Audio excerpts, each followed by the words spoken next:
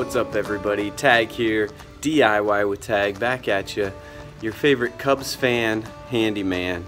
Uh, appreciate you joining me again today. Today's project is uh, one I've been excited about. This is a, um, we're gonna do a beanbag toss, or some people call it a cornhole toss. Weird name. Uh, I understand why, but anyways, beanbag toss we'll call it. Uh, make a beanbag toss game. Um, so here's a picture of the final product. As you can see, uh, I did a Cubs versus Cardinals. Um, this is a gift for my uh, father-in-law who's a Cardinals fan. Um, as you can see, I'm a Cubs fan, and so uh, I did a um, as a gift for him. Um, so I'll take you through the process. This cost me um, $50, almost on the nose, um, in supplies as far as the woodwork goes and then the uh, Cubs and the Cardinals stickers um, were each $20 each so it's another 40 so roughly $90 um, you might if you're good at painting you could paint those logos on. Uh, I'm not particularly good at that so uh, I went with the stickers but um, I'll show you through the whole process how we cut it you know measure it um, how we um, stain it or uh, polyurethane it um, and make it regulation for all you uh, competitive beanbaggers or cornholers. Uh, so hang out with me. If, if you can, hit that like button. Hit the comments if you have any questions. If you feel like I left anything out, which I try not to do, but if you feel like I left anything out, please hit um, hit a comment with anything you feel I left out. I will put a supply list in the comments as well. Um, and uh, hit that like, hit that comment if you need to, and then hit that free subscribe. Let us know you like the content that we're delivering and uh, also it'll give you updates for anytime I post a new video. So the subscribe button is is huge for us and for you. Um, so look forward to this beanbag toss project. Alright gang, so I just wanted to give you a quick uh, show of uh, you know some of the supplies. So we had ended up with four 8 foot two by fours um, that we're going to cut up for the frames and then the two um, decks that we're going to put the hole in for the beanbag toss. Um, so there's a six, six inch hole that'll go in each of those. Um, there's two ways you can do that hole. Um, you can use a, a, jigsaw or I have a, um, a, uh, a hole saw a six inch hole saw that I'm going to use um, as far as making that hole nice and precise six inches there. We got to keep it official after all, you know. We don't want the uh, we don't want the rules committee after us when we're out there and uh, and the friends are arguing. So anyway, so we're gonna do that. So first steps we're gonna do is sand down um, each of the decks as far as um, the, the toss goes, get those sanded down. Then we're gonna polyurethane those. Um, that's gonna give it a nice, um, that's gonna give it that nice finish uh, on top, that nice surface for the beanbags to, to go and to slide on. So we're gonna urethane those um, with the decals on there. Um, and so that, that'll look real nice. We're gonna do the decals down towards the bottom, uh, holes up towards the top. Um, I'll talk to you about the measurements for the holes and everything else, but that, that's a quick look at some of the, the supplies. Uh, there's uh, some carriage bolts and a few other things, um, but we'll get to them as we go. All right, also, uh, first step's rather unglamorous. We're going to use uh, 220 um, grade sandpaper. Um, you can use your uh, ro rotary sander or, or, hand sanders, whatever you got. Uh, but we're just going to sand that the, each of those um, plywood decks down. They're two by fours, uh, three quarters, three eighths of an inch thick. Um, so we're going to give those a good sanding uh, first. Make sure that polyurethane takes nice and smooth on there. Make sure the whole surface is nice and smooth for, for the bean bags to slide on. Um, so we're going to start on that, get that sanded up um, and then um, let that let that be done and then we can uh, get on with the polyurethane.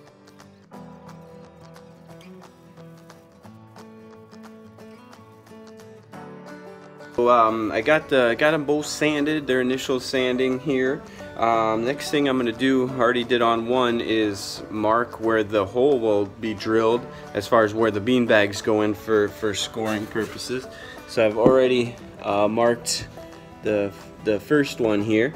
Um, so they are, the holes are 12 inches from the side and 9 inches down from the top. So we find our 12 inch middle.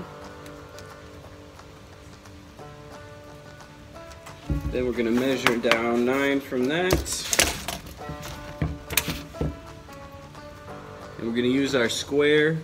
Uh, the square is really helpful when you're drawing lines. You'll see me use it a little bit later with the 2x4s. This really helps you keep a nice straight line. Um, so we're going to put the square right, butt it up right up against the uh, edge of the of the plywood there. So from this angle, you can see it just slide it and it fits right there. So we're gonna do that. And then that's gonna keep us a nice straight line from our mark for 12.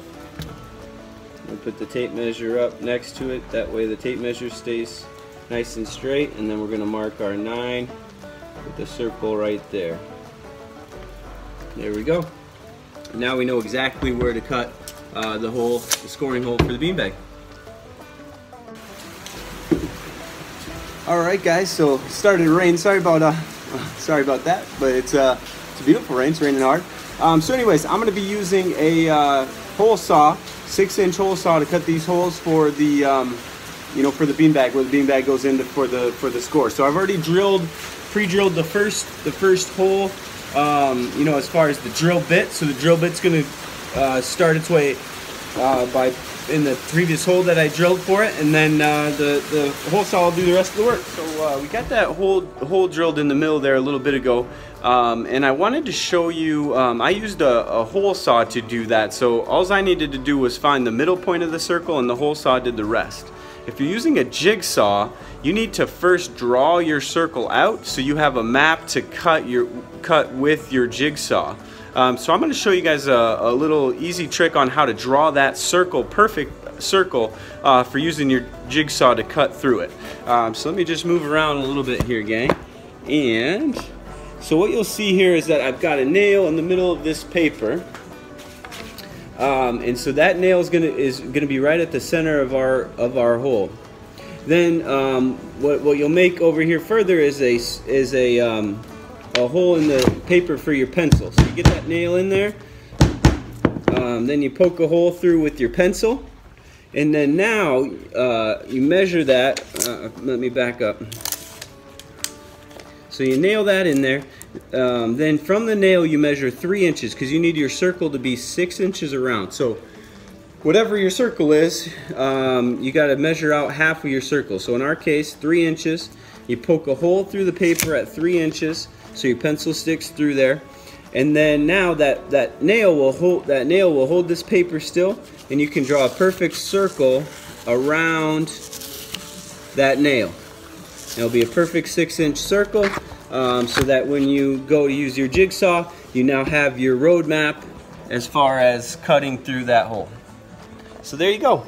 A uh, little uh, DIY with tag tip on using a jigsaw to cut a perfect circle Hey guys, uh, one more thing on the sanding front. I'm really going to get the edges. I'm just going to grab the sandpaper myself and really work on the edges of each each uh, panel here, uh, each deck of the uh, uh, of the beanbag top. Really get that sanded down nicely all the way around the edging there. Give it a nice rounding on the edge. Um, keep any of the pieces from splintering or anything like that. All right, gang. There you have it. We got uh, hole number one.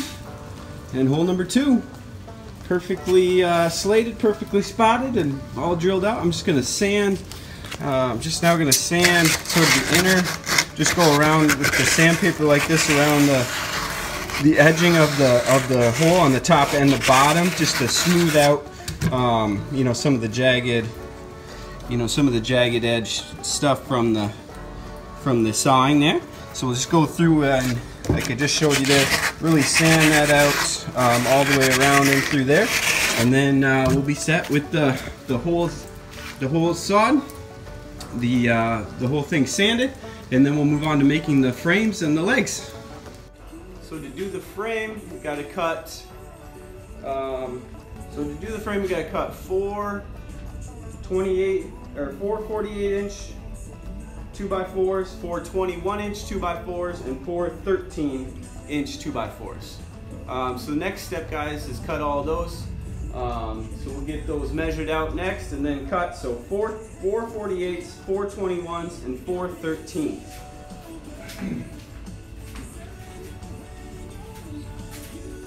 So these are eight foot, these are eight foot two by fours.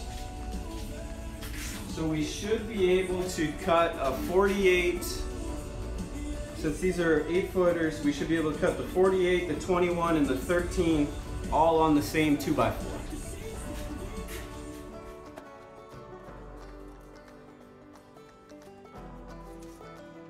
So on the same 2x4, we're going to be able to cut um, all, all three of our pieces, 48, 21, and 13.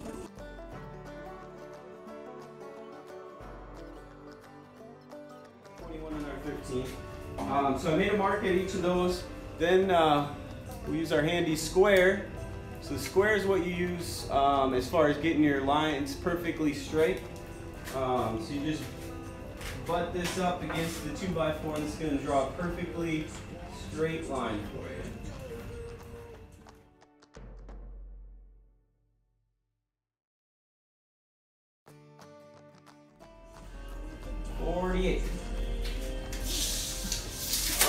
Got them all measured. Then it's back to our square again. This is what we can draw our straight lines with. Got them all measured out. Now we're just gonna cut them all. Um, then we can start putting them back together.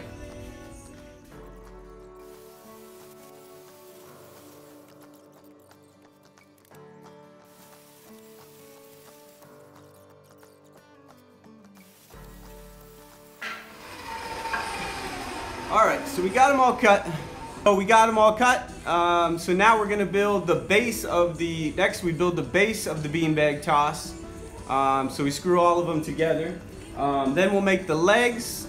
Um, I'll show you the legs are very are going to be very unique in how we make the legs. So um, so I'm going to build the first frame. It's 48 by 21. We're going to screw the base together with two and a half inch two and a half inch screws. Screw these together with two and a half inch two and a half inch screws.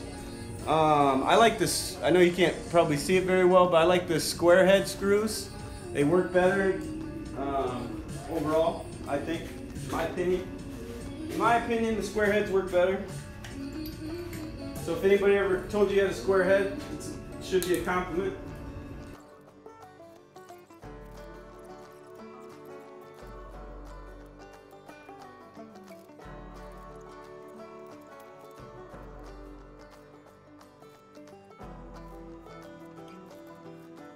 Okay, so that'll be the frame. Our bad boy will sit right on there. Easy peasy. Both frames done. Uh, you see one against the wall and one on, on the bench here. Um, so the next thing we're gonna do is measure for the legs. So the legs of the game are going to fit right in here and they're gonna pivot up and down. Um, so that's what's gonna hold the game at an angle. If you've played, you know that the beanbag toss is at an angle there. Um, so we're gonna mark where our pivot point is gonna be on that. And so on each of the two by fours, it's gonna be four inches in and an inch and a quarter down. Okay, so we're gonna measure four inches in on the two by four, inch and a quarter down. Then on the on the uh, actual leg, we're gonna do an inch and a quarter down and an inch and a quarter in. Um, so that's how we're gonna measure these out. Inch and a quarter down, inch and a quarter in. And on the actual game, or on the actual deck, four inches in and an inch and a quarter down. And then that's what's gonna allow it to pivot. All right, gang, so we've made our marks, uh, four inches in on the two by four, an inch and a quarter down on each side. Um, you see the other dot on the other side. So then um, we're gonna drill, use a 3 8 inch bit and drill through there because we're gonna use 3 8 inch carriage bolts um, to go through here with wing nuts um, through the leg on the other side. So then you can loosen and tighten those wing nuts to move um, the legs up and down. Um, so next step, uh, drilling through there, 3 8 inch bit using 3 8 inch carriage bolts.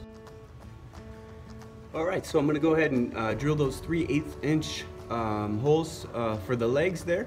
Um, I just want to say before I start what I'm, I did a small pilot hole uh, already with a much smaller bit and then I'm going to go from the outside in rather than the inside out. If any splintering does happen, I want it to happen on the inside versus the outside that you can see. Um, I don't expect it to happen given that I did a pilot hole already. Um, doing a smaller pilot hole first tends to help with any splintering that the wood might do. When the, when the drill bit goes through, it could splinter out a little bit. It just makes a bad look, so I'm going to start from the outside in because uh, that'll avoid any of that. So here we go.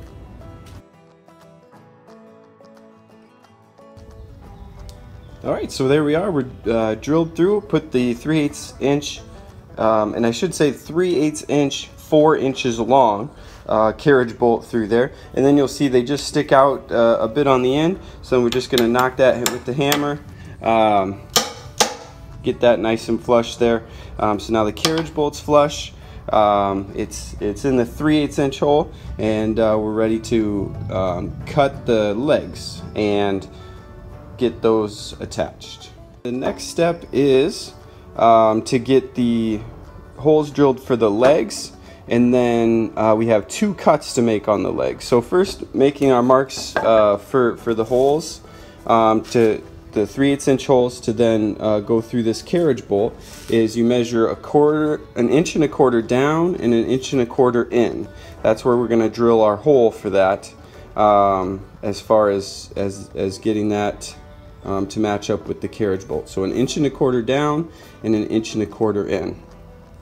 Then what we also need to do is we need to round this top part out so that when this when this rotates it doesn't it doesn't hit the corners. Right now the corners would hit and it's not going to move like we want. So we need to round um, the edges. So what I did um, was drew this uh, arc on here. And so what I use to do that is I just but, uh, get a piece a roll of tape um, and I flush it up so that you can just see the edge. And then you draw your circle or your half circle around it like that okay so that gives you that that nice rounded even round rounding and then you can with your bandsaw or your jigsaw then cut that out. So a nice something nice and circular but I, I like this tape roll. Fits perfect you just get it right up just so you can see a bit of the top and then draw that line around there so then you can go in there and smooth that out with the jigsaw. Then the last bit that's going to have to happen is we got to cut a 30 degree angle on the leg. Uh, for any of you that have played um, bean beanbag toss, it sits at an angle versus flat, so it sits at a 30 degree angle. So on our legs, we're going to cut a 30 degree angle on there as well. So that's the next few steps. All right, so there they are, measured at an inch and three quarters in, inch and three quarters down on both, inch and three quarters in, inch and three quarters down, and then the arc um, drawn up at the top here. Um, so the, the next, next things to do, drill the holes, um, uh, round that out, and then we'll cut the 30 degree angles down here. Now my, all right, so here we are with the legs on. Um, now you can see I haven't rounded them off yet, but I just wanted to do that to show you. So uh, they'll hit right now, so that's why we're rounding these legs out because um, they're gonna they're gonna hit. They're not gonna let us uh, open this up to the angle that we need. So um, we'll cut uh, round those off, cut that angle, and then uh, we'll we'll put a washer and a wing nut or washer and a wing nut in here so that we can tighten it up um, and, and, the game will work appropriately. All right, gang. So we got it. Uh, we got it all rounded off. Um, so that's that's working great. Now what we want to do is cut our our angle for the footing so that it the whole board sits up at an angle. Um, and so we want uh, to angle this cut to uh, match that um, so that uh, the board sits right on the ground. So to do that I'm a little stuck between the regulation is to have the back end of the board 12 inches off the ground so, um, so what I'm going to do is um, I'm going to start by making a, this is a one inch measurement right here that I made and we're gonna do an angle cut through that. So what we're gonna do is just slide our square up to it like that and draw our line, right? Draw our line right along there to make uh, for our angle cut. Um, so I'm starting with with one inch um, uh, to give me some wiggle room. I think that might be a little, we might need two inches to get the angle just right, but I'm gonna start at one inch and then cut them both and then we'll test the board and make sure that it's right. So that's how you're gonna make that, that angle cut guys. Measure one inch um, up from the bottom, then use your square um, to draw a line right through that measure and then you'll have that nice angle line guide um, for making your cut um, on, uh, on that. There we go. Alright gang, so we made the uh, angle cuts. I put a one of the carriage bolts through um, to, to match the two legs up and make sure that we're even and as you see we got the one that we just got to do a little better cut on uh, or a little bit of uh, fine tuning on to get those to angle up so uh, if you want to make sure your legs match uh, just throw that carriage bolt through there and then and take a look and so you can see we're a little sh shallow yet on the angle of one board so we'll fix that up. All right gang we got our angles matched up looking good. Again throw that carriage bolt through to get your heights matched up and uh, cut the angles so start with that one inch angle we'll get them all connected uh, here in a second make sure that uh, everything levels out all right guys so we got the the legs through the carriage bolts on the frame of the beanbag toss. Um, so again, they're 3 8 inch carriage bolts, so then we need 3 8 inch wing nuts and 3 8 inch washers. Um, so what we're going to do is just uh, put the washer on first, then the wing nut, and the wing nut allows you to easily um, tighten and loosen based off how, how uh, easily or, or difficult the legs are spinning. Um, so we just go washer first, we get that carriage bolt, or the um, wing nut on the carriage bolt. And we tighten it, tighten it down, um, you know, for ease of move of the leg. So that's pretty good. Um, so now you see the leg is hitting on this top 2x4. Um, so that's what gives us the appropriate angle on, on the deck. You know, so it has that, that upward or downward angle depending on your perspective. It's an upward angle towards the scoring hole. So the hole will be, you know, right in the middle here. Um, so we'll get the other one attached um, and then we'll lay it down and, and measure to see if our uh, length on the back is accurate. So the back end should be 12 inches off the ground um, when it's all said and done. Okay, so we tighten this up so the leg stays. All right, so now we got them tight enough so the legs stay. Um, now we'll put it down on the ground, see if the measurement's right. All right, folks, we got it. Uh, we got it all set up. Um, so as you can see, my angle is just a little, uh, little sharp on the uh, legs. So we're gonna shallow those angles out, and we're just, um, we're at 12 and a quarter inches on that. So shallowing that angle out should get this down just a touch and we'll be right on with our 12 inches, um, our 12 inches to the top of the deck there. All right guys, we got our angles. We got it sitting uh, fairly flush there. Um, so we did it, we did it. And even better, um, we're at exactly 12 inches to the top of the deck. So perfect. Got everything matched up, ready to rock and roll again. We're throwing bean bags in no time. Uh, so next step, um, get the top, the deck um, screwed in all along the top, and we'll fill all the screw holes throughout um, with some wood putty. Um, then we will, um, then we'll do polyurethane, uh, probably a couple coats of polyurethane. First coat um, as is, then the second coat we'll put our logos on beforehand. So we'll let the first coat dry, put our logos on um, towards the bottom there, and then uh, polyurethane uh, one more time over top of that. So that's next. All right, y'all. So we got the uh, screws in the four corners here. These are one and five eighths inch screws uh, to secure the deck on top here. So one and five eighths. Um, and uh, don't be like me, you don't want to screw loose. Uh, so what I want you guys to do is sink these in just a little bit. Um, that way you can, then we'll put some wood putty on them. And so when we polyurethane over top, you won't see a bunch of uh, screw heads all throughout there.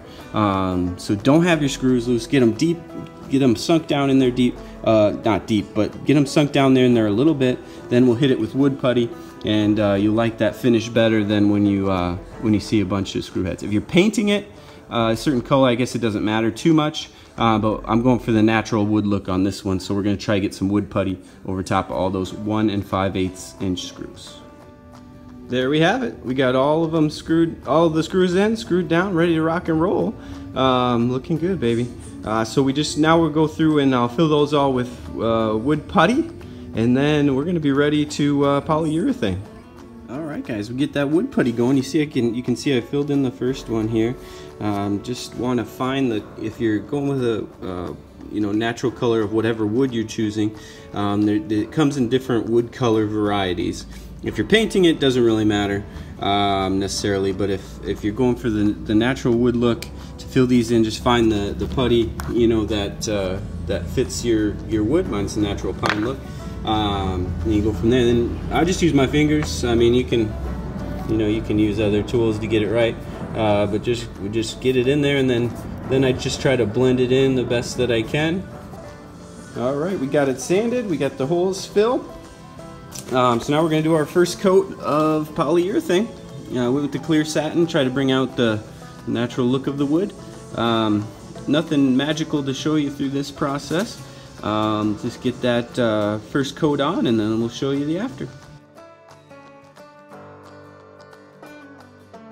Alright, so we got the first coat on, gang. Um, so we're going to let this dry. It says three to four hours. Um, then we're going to put the logo sticker um, down here towards the bottom. And then uh, do our next uh, coat there. Um, and then it'll be um, protecting that as well. So, hey, we're one step closer. I'm to finish up uh, the um, second board. Um, pretty much all the same steps as we already did with this one, and then we'll be set.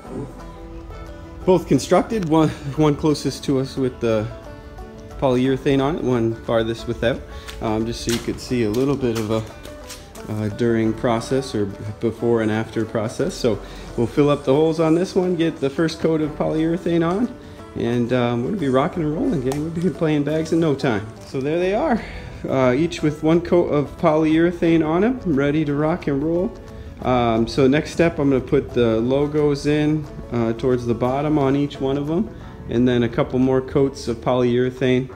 Um, I get varying opinions on how much. I'm probably to do about five coats total. Uh, we'll just see kind of how the smoothness goes. Um, I'll put more coats on as needed, but and then we'll put one coat on, sand it down, and then another coat. And the only coat that you don't sand is the very last one. Um, so coat it, sand it, coat it, sand it, coat it, and we should be good to go. We'll be ready for bags. So I'll show you. Okay, folks, we are in between coats of polyurethane here. So I just wanted to talk to you about sanding for a minute. Um, you want to sand, you know, with the grain vertically. No, definitely no circles. Um, you, you don't want to go up and down, you know, up and down with the with the sanding. That's going to give you the best surface overall. Um, and then in between sandings, wipe it down with a wet wet uh, towel. So up and down with the sanding, definitely no circles. Um, that's going to give you your best surface. Avoid any scratches or scuffs or marks on there. All right, guys, we got the stickers in. Um, so I have them uh, centered from the bottom of the of the hole um, to the bottom of the deck there, um, and then from side to side. So they're centered. Uh, I'm going to apply those. It won't have that white backing on it, but I'll show you that in a second. I'll apply those, and then we'll put on our next coats of polyurethane, and we're going to be one step closer. Hey, hey guys, we did it. We did it. So I'm making this for my father-in-law. Um, so he's a Cardinals fan, so I'm giving him a little bit of a, of a dig, getting back at him with making the other one a Cubs. Uh, so we got the Cardinals, we got the Cubs, and uh, the stickers are on um, and centered, and now, or as well centered as I could get them. The, um, and now we're going to uh, get the next couple coats of polyurethane on. Um, I'll give you an update on how many. I'm going to start with one. I'll show you what it looks like. Um, then of course we gotta let a few hours go by and let that dry. And we'll do another one for sure. Um, and then after that, I'm a little uncertain, so I'll let you know at the end how many we end up with. Okay, so I got this, I got the coat on this Cardinals one here, guys, and I just wanted to show you something as I'm doing this. Um, so you can see, you know, that one's un, it does not have the next coat of polyurethane on, and this one done is, is looks how shiny it is. So the best way to see if you miss a spot, guys, is to get um, an angle uh, with the sunlight coming at it. Um, so then you can look and see and see all the shine to it and see right there uh, where there's a little bit of spot that's not as shiny. Um, that's where I missed a spot. So you want to, even when you're finished, you want to get down here and look at it, see if you can find any of these spots. Um, looks like that's our only one. Maybe another one right up top there. Um, but anyways, this one right here for sure that you guys can see um, is where I missed a spot. So I just want to go back and, uh, get, and grab that spot, get it get it on there. There we go. Now she's fully covered. You can see it shining um, up and down. And so now we just let it dry for a couple hours. Um, so I get the other one. We'll let them dry a couple hours get another coat and we'll see where we're at. All right guys. We did it. The beanbag games are finished. Th there they are. All that's left is the games uh, thanks for joining me. If you liked the content, please do hit the like button, hit the subscribes. That'll give you alerts for when we post our new videos and show, show us that you really enjoy the content. If I missed anything, you have any questions, please hit it in the comments. Also have the price list in the comments and the supply list in the comments. Until, until then, this was Tag with DIY with Tag. I appreciate your time. We'll see you next time.